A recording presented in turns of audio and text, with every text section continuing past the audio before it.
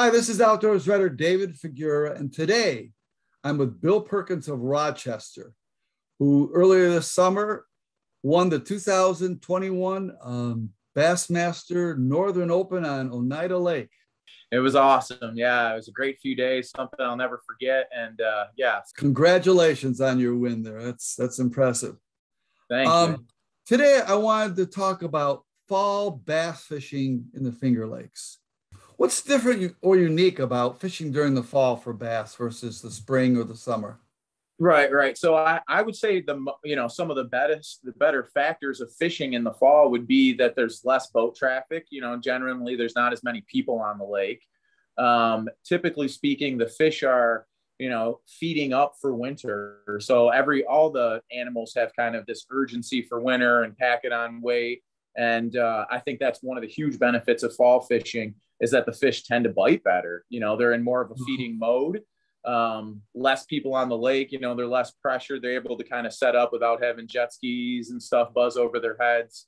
Um, so I think just those are some of the better factors. You know, the conditions wise, it's usually not hot and muggy like we've had up here for a while. Usually the weather's really nice, you know, hoodie and jeans, and you can kind of get out there and enjoy yourself and have some pretty good days to the water. And many days I've had the lake to myself. You know, there's three, four boats on an entire Finger Lake. You know, um, wow. so it's really nice. Um, is it different fishing for largemouth versus smallmouth in the fall? Oh, I would say, right, right. I would say that it's not that it's you know typically speaking, um, it's not always different.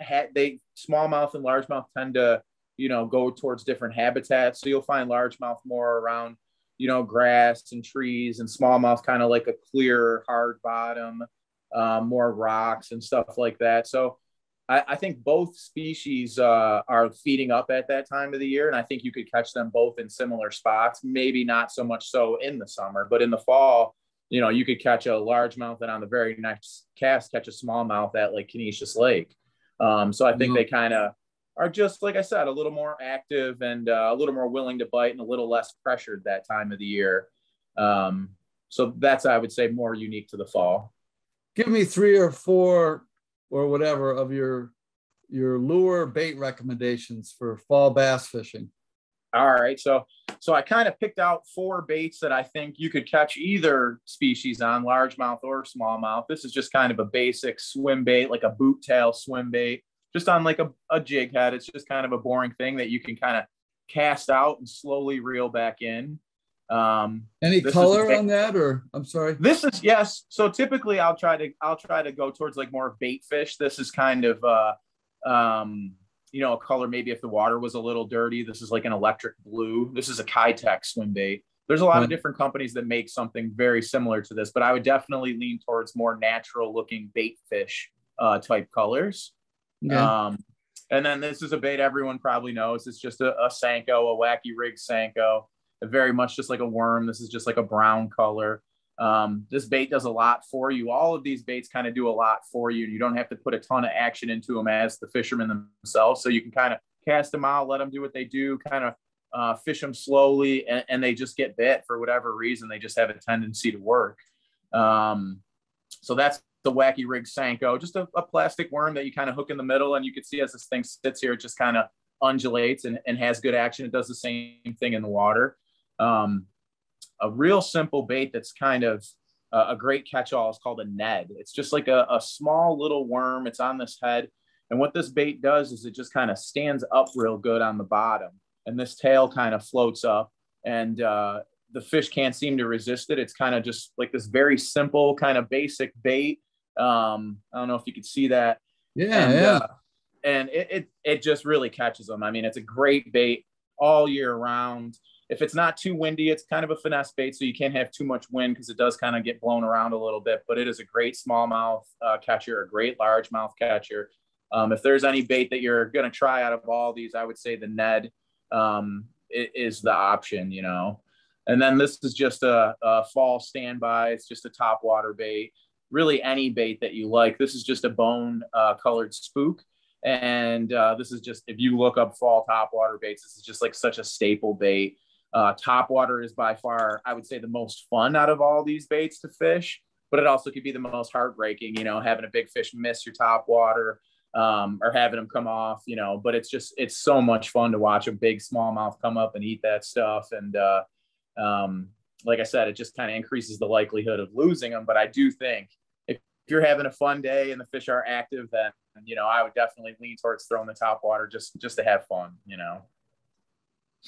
Yeah, but those are four baits that I think that you can get bit on by either species in the fall. Um, like I said, it tends to be, you know, a little easier to get bit in the fall. I think a lot of, especially now uh, at our Finger Lakes, there, there's a lot of pressure, a lot of fishing pressure, pressure, and a lot of people fishing and on the lake. So in the fall, that kind of gets geared back a little bit, and it can be a little bit easier to get bit. So it's a great, great time to be out there.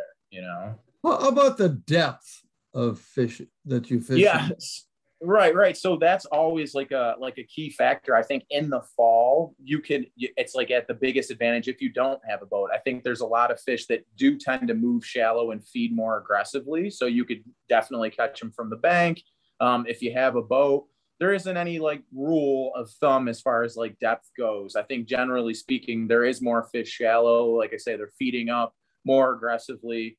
Um, so you don't necessarily have to have a boat. You know, I know a lot of guys who very successfully fish from kayaks or from the bank and catch largemouth and smallmouth. Um, you know, this time of the year, and and there's a ton of information out there as well on YouTube and like various you know platforms where these guys you know give seminars and talk about different things. If you want to learn more, there's a ton of information out there. So.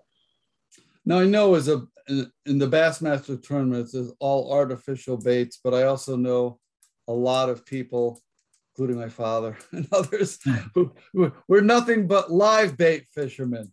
Uh, oh, what yeah. about what live bait would you recommend using during the fall?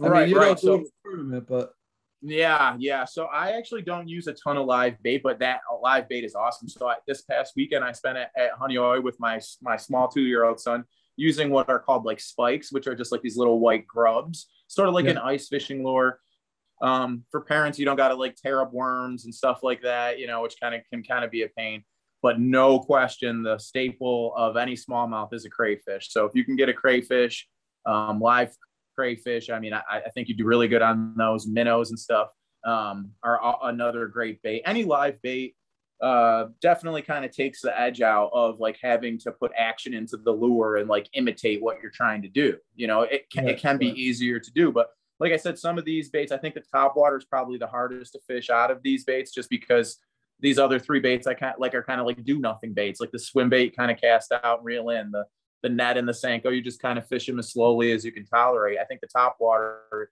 you have to have the most experience to kind of get it to walk and uh and to fish it appropriately. But uh, like you say, live bait just it swings the learning curve. You know, I think those fish, uh, you know, they're not easily tricked, but they they are very easily tricked with live bait. You know, so it's a great option, especially if you have kids to keep the action going. You know, they just want to catch bluegills and and perch, and and it's it's really only fun to a kid to catch uh, to catch fish. You know, so we're not trying to instill mm.